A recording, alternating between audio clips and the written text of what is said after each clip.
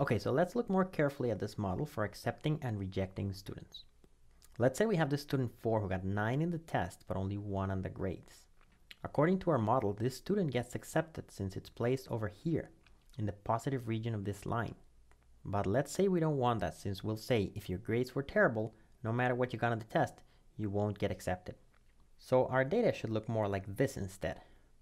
This model is much more realistic, but now we have a problem, which is the data can no longer be separated by just a line. So what is the next thing after a line? Maybe a circle? A circle would work. Maybe two lines? That could work too.